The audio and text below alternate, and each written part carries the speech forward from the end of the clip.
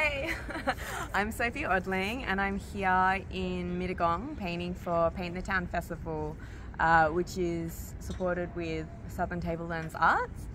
And I'm painting this wall behind the Highlands Hotel, and it's about uh, recognizing the fires that happened, but my piece is about the rejuvenation and the regrowth. Uh, and what I have placed in the mural is some abandoned tractors that are kind of rusty, that are uh, being overgrown with botanicals. Uh, and then I've also put in a portrait of a boy that's kind of hiding amongst the tractor and the, uh, the tires. Um, and the whole idea of it is about focusing on the new and the birth of, of nature and youth. Yeah.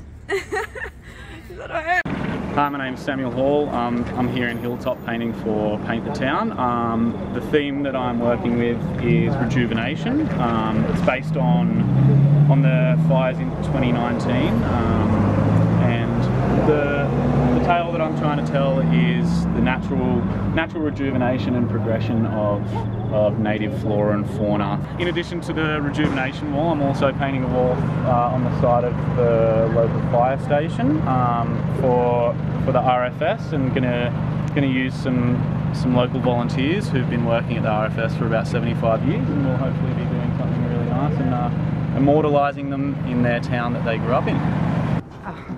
Hi, I'm Zoe. I'm from Muralisto and here today painting for Paint the Town. This is my mural. It's all about love and community and was inspired by a Rumi quote which is the bridge between you and everything is love.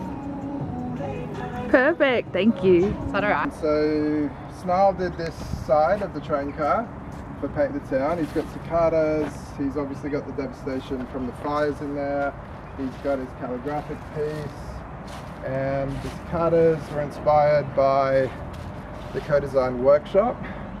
Snarl's an artist uh, from Coffs Harbour, originally from Sydney. He was actually born and raised for a bit in Bowral, so he was really, really happy to be able to come home and do an artwork in his uh, place of origin um, for the community and to support the fire affected community members in Wingecarribee.